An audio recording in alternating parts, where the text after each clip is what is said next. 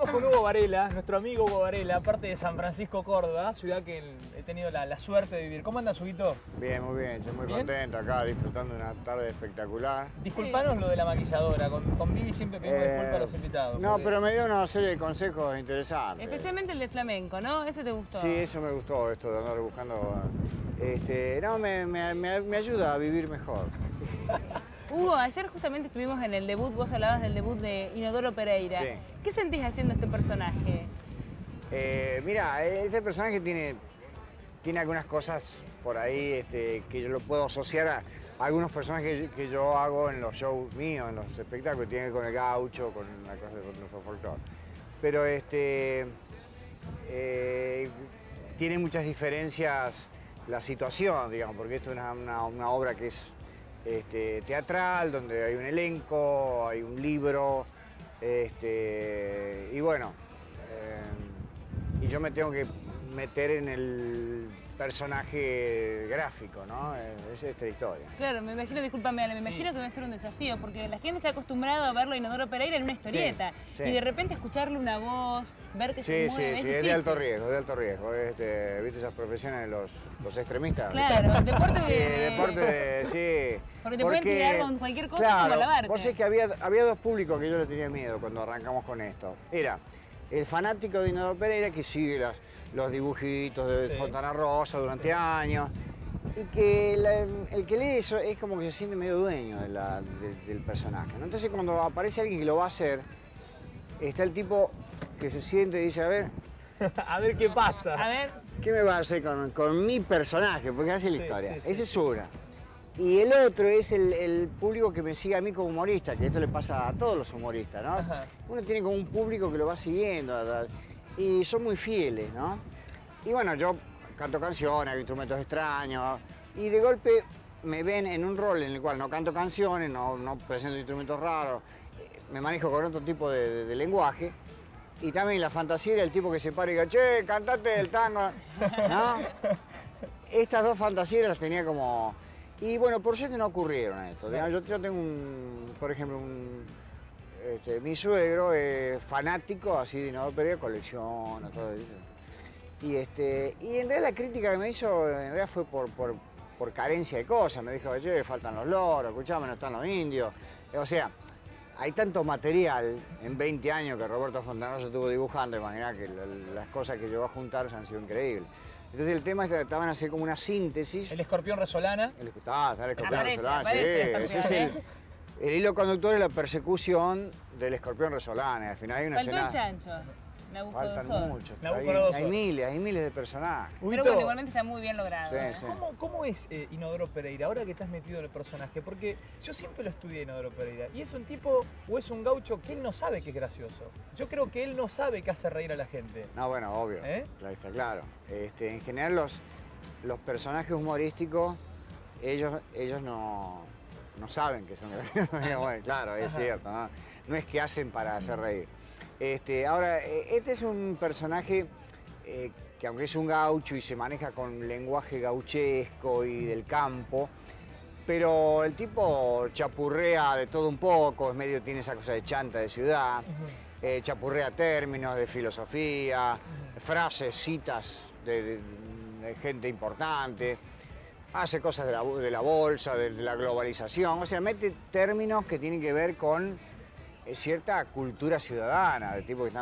Entonces esto es lo que le da la cosa como, como loca, el, Y aparte, el delirio, ¿no? y aparte qué distinto que es a todo lo que presenta Mar del Plata. ¿Qué apuesta la tuya, sí, Hugo, de, sí, sí. De que no haya silicona. Sí, eso- es, un encanto. eso es lo que me da Es alto un encanto lo que haces. Realmente raro, tenés, mucha garra, raro. hermano, porque ante tanta silicona, silicona como dice Vivi, tanta, sí. tanta voluptuosidad que vos vengas con Eduardo Sí, Pereira, sí. realmente es una, una alegría para todos, ¿no? Sentís Este, como un bueno, yo un poquito de anabólico tengo también. Ah, pero, inyectó. ¿Y Fontana Rosa vio esta obra? Sí, sí, ¿Y qué sí, dijo? ¿Cuál sí, fue su sí, opinión? sí. Bueno, mira, todos estaban muy nerviosos. Él llegó, eh, nosotros debutamos en eh, el verano pasado y este y él llegó a la semana recién a ver la, la- la obra, ¿no? Este, todo el elenco estaba bastante. Che, estaba Roberto. Le pasó a la mesa de los galanes también Ah, Daniel Arao. Claro. Le pasó también. Yo no sé por qué, te digo, yo eh, tenía como la seguridad que le iba a gustar, era como una, una sensación, digamos, no, no era una cosa pensada, no sabía bien por qué estaba tranquilo. ¿Pero un compromiso para ustedes que estuviese ahí abajo él, Fontana Rosa? Sí, a mí, me, a mí casi me divertía, porque yo sé, como yo, como yo soy autor de las cosas que yo hago, entonces Sí. sé el, el trabajo que hace uno para fabricar algo, que viste, está escribiendo, no le gusta, arranca de nuevo, ¿no? Hay todo un trabajo, y cuando ves que ese producto lo hace otro, ya de por sí es sufriente la cosa, porque es como que eso te lo dice otra persona. Entonces, Se nunca va a coincidir, nunca va a coincidir Claro. con lo que eh, vos pensás. Entonces vos ya desde el vamos a ver que el tipo ese está sufriendo. ahí, digamos. ese tipo ahí está sufriendo. Yo lo sé eso, lo sé. Este, de todos modos, eh, él también ahí entró a ver eh, cosas que no, no están en el dibujo. O sea, y lo que pasa con una obra de teatro que, hace un personaje gráfico es que en la obra eh, entran a aparecer cosas que no aparecen en el dibujo. En el dibujo no aparece el movimiento, no aparece eh, eh, las voces, no aparecen, qué sé yo, cómo se enoja, cómo se relaciona con nosotros. Hay un montón de cosas que hay que inventarlas para eso. Y esta es la parte en la que Roberto entra a ver cosas que jamás vio. digamos, Claro, ¿no? cosas que él Es no la parte, creó, ¿no? exacto. Pero seguramente se habrá sentido muy Y bien. después, ubicado. bueno, no, la cosa fue que en realidad el público estaba muy enganchado y este y funcionó bárbara la noche esa, ¿no? Este, y después, cuando est- estuvimos en gira y fuimos a Rosario, él volvió a ver la obra de nuevo y ya la llevó a la madre, o sea que... O sea que le había gustado. Sí, ahí se deschavó, porque no, no fue muy efusivo, ¿no? Dice, sí, me, me volví loco con la obra. No, fue, un- fue ¿no? prudente, dijo, sí, está bien, no es las versiones que más me gustan. ¿eh? ¿viste? Es plaga era. Eh, Vivi, Hugo, eh, ¿te animás a tocar un poquito? Claro, Para nosotros. digo, ¿vas a volver a hacer Bueno. algo que tenga que ver con la guitarra ¿Eh? o te gustó ese perfil Tocar la negra, qué lindo. No, pero eso a mí no me la guitarra. Toca un poquito, dale, toca. Tocate, tocate un tema de. Vos no tenés que dar ninguna autorización. Fantino. Si no- Es pero recién ahí afuera. Es machista. machista totalmente. Bueno, en tu obra también, porque a la pobre Eulogia la maltratan. Sí, sí, sí. No es Yo mala, sé que pero es gorda, mucha. pobre ¿viste? Eulogia, pero no era para tanto. Qué Che, lindo. mi vieja también es gorda y no la maltrato, ¿eh? Ojo. Eh, No lo sé, eh, tendría que claro, preguntarle a Chita. Está bien, avi- avisemos ¿Querés, ese querés tema. volver a hacer algo así como con la guitarra o vas a Sí, no, no, no, sí, ya estoy, ya estoy empezando a armar un espectáculo. Entonces sí, tenemos la sí, guitarra, sí. la guitarra. Ahí está. Ya, en la arena lo han sacado, guitarra, vos. ¿se puede, sí. no? Mirá. Qué Me hacía linda la guitarra, Ah, lo que mirá la vos. trato, lo que la trato con cuidado la ¿Tiene guitarra. guitarra se llama? Mirá vos, sí, tiene cuerda. Esto no lo tenías que tocar. Esta- estas pero- sillas son buenísimas para tocar guitarra, Sí, porque son muy cómodas, ¿viste? Son re cómodas. ¿Tocaste en San Francisco alguna vez en una peña, no? Sí, sí, sí, en San Francisco, sí. Yo arranqué con grupos de... Cantoral era ahí, ¿no? Cantoral, Pero... pero... Vergesio era de. El negro Vergesio, claro. El negro Vergesio pertenece a mi generación y un poquitito más. Tendría dos años más, pero cuando uno tiene 16 años, algún tipo de 18 es un viejo, ¿viste? Claro, ¿y le compraste la guitarra Merlino también? ¿Aprende no? No, sabes que no, nunca tuve una Merlina, pero sí, pero... Ah, no, estoy hablando mal. Yo tuve un grupo de rock que se llamaban los Teen Dovers. Los Teen Dovers. Yo tenía un disco de Teen Dovers, te juro por claro. mi viejo que tenía un disco de Teen Dovers. Claro, ¿En serio? sí, sí, bueno, hicimos bailar a muchas, muchas, bueno. Bueno, dale, dale, saquen esto. Está bien, Bueno, y. Merlino empezó a fabricar, a experimentar con guitarras eléctricas. Nos regaló tres guitarras durísimas, Merlino, te mando un abrazo, fue hermosísimo. Unas guitarras blancas, guau. Eh, ¿Qué, qué podemos cantar? ¿Algo? Lo que vos quieras. lo que quieras. New York, New York, ¿lo tenés? ¡Ay, qué lindo! Acá con un coro. Este.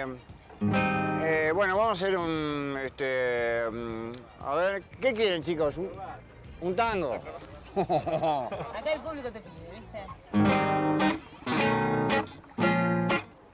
¿Con violín también?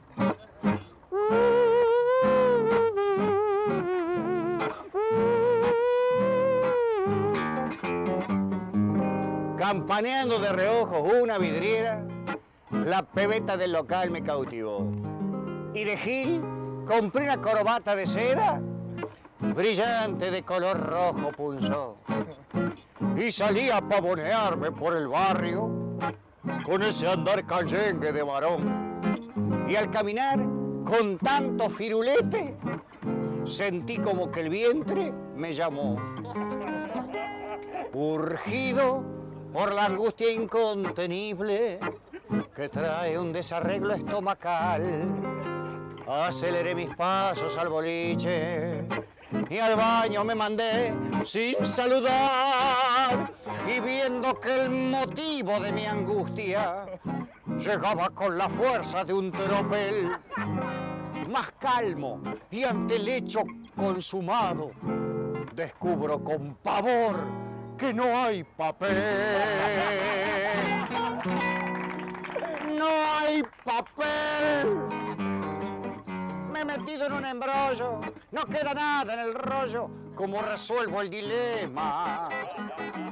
No hay papel, ni siquiera un pedacito, un boleto, un manuscrito que me salve del problema. No hay papel, corrugado cartulina o un pedazo de cortina que me ayude en la ocasión. ¿Por qué será que la vida nos trae cosas ingratas? Sacrifiqué la corbata de seda rojo punzón.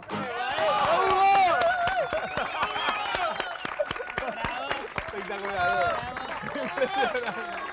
Impresionante. Muchísimas gracias. Impresionante. Y aparte por ayudarnos a cerrar el programa de hoy con este humor. Nah, espectacular, Qué espectacular. lindo, qué increíble. Huguito, bueno, muchísima suerte, hermano. En Bueno, serio, ¿eh? de verdad que. este, te bueno, esto no va a quedar así nomás. Mañana levanta el programa. Este, no, acá volveremos con toda la orquesta, vamos a hacer grandes cosas. Tengo grandes ideas. ¿Venís otra vez, venís otra vez antes del 10 de febrero? Sí, ¿Venís? sí, sí, con gusto. sí. Aparte, por ahí Es la semana que viene. Pero vamos a hablar de También. deporte, que es lo mío. ¿Sos hincha, ¿Sos hincha de quién, Hugo? De Independiente. ¿Sos hincha del rojo? ¿Y, Sí, y sí. seguís al equipo? ¿Sabés quién es? Sí, el- lo sigo. ¿Pensás que tiene que jugar con Calderón? Para, ¿Pensás que tiene que jugar con Calderón de punta y el turco Januch más atrás? ¿O el turco más de punta junto con Caldera abriéndose por derecha? Eh, ¿Te puedo hacer otra pregunta mejor, Hugo? Por ejemplo, ¿lo conoces? Porque acá vamos a tener a un pianista muy famoso, a Teclini, ¿lo conoces? Ah, Fernando Teclini, me hablaron mucho ¿Te hablaron de Bueno, va a sí. estar acá. ¿Va a estar acá? Sí. Uy, ¿Vas yo quiero venir sí, sí, me quisiera escuchar y, y compartir alguna, alguna Bueno, cosa más con él. adelante contamos algo más de Teclini, que él lo conoce y lo conoce Que muchos Teclini, conozco a toda la familia, el viejo Teclini también. La vieja era medio... Ludwig Van Teclini, había un primo. Qué Hugo, lindo, che. te queremos despedir con este aplauso, nos has hecho pasar Bueno. un momento extraordinario. Mucha suerte. Gracias, en serio. Nos vemos mañana en Aymar de Fondo, Vivi, ¿te parece? Despedir. Recuerden que el lunes está la búsqueda del tesoro con todos los premios. Pueden venir a participar, a jugar acá. Mañana un unplugged de Rucauf, ¿eh? no se lo pierdan, listo. Nos vemos mañana. Chao, hasta mañana.